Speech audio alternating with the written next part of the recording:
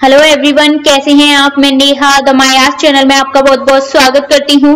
आज की वीडियो में गाइस मैं आपको विटाविन ब्रांड के जिंको ग्लोबा कैप्सूल के बारे में रिव्यू दूँगी। इसके बारे में बताऊँगी कि ये कैप्सूल आपके बॉडी को, आपके शरीर को किस तरीके से फ़ायदा देता है।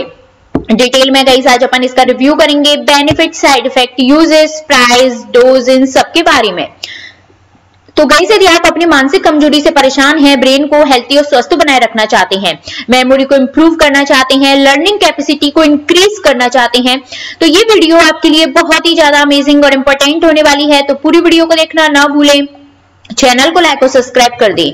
बेल आइकन पर प्रेस कर दें, जिससे जो भी हम वीडियो डालते हैं, उनका नोटिफिकेशन आपके पास पहुँचता रहे। तो चलिए दोस्तों, बिना टाइम वेस्ट के ऊपर बात कर लेते हैं जिंकगो ग्लोबा कैप्सूल के बारे में, जिसकी पैकेजिंग के अंदर गए 60 वेजिटेरियन कैप्सूल प्रेजेंट है।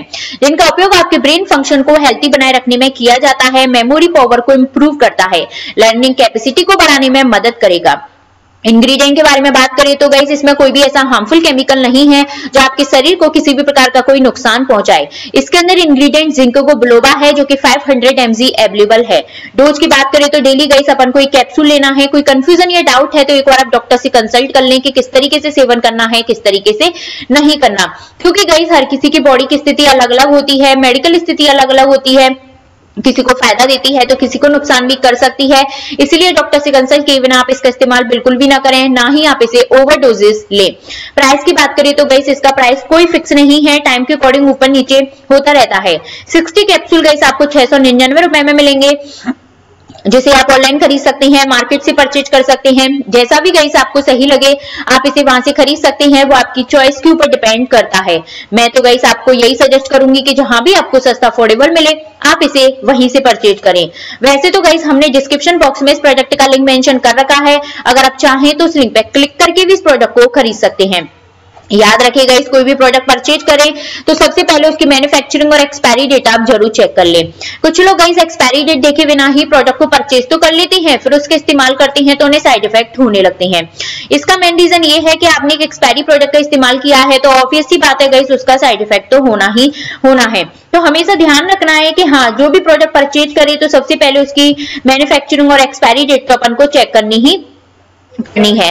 काफ़ी अच्छा प्रोडक्ट है गाइस बेस्ट है जो कि आपके शरीर को हेल्थी और स्वस्थ बनाए रखने में मदद करेगा। बस आपको ओवरडोजेस नहीं लेना, ना ही डॉक्टर से कंसल्ट किए बिना इसका इस्तेमाल करना है। इन दो तीन बातों का ध्यान रखना है और अगर आप प्रेगनेंसी की अवस्था में है, तब तो किसी भी कंडीशन में कोई भी दवा या टेबलेट का इस्तेमाल डॉक्टर से कंसल्ट किए बिना नहीं करना। मैन और वुमेन दोनों ही इस्तेमाल में ले सकते हैं गाइस तो काफ़ी अच्छा है तो एक बार इसे आप इस्तेमाल में ज़रूर लें। सो गई आज की वीडियो में बस आपको इतना ही बताना चाहूँगी। अगर आपको हमारा वीडियो पसंद आए तो इसे लाइक कीजिए फ्रेंडों के साथ शेयर कीजिए।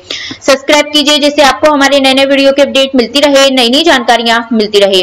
और गई बेल आइकन पर ज़रूर प्रेस कीजिए, जिससे जो भी हम वीडियो डालते हैं टाइम टू टाइम आपके पास पहुँचती रहे और उस प्रोडक्ट के रिगार्डिंग आपका कंफ्यूजन दूर होता रहे।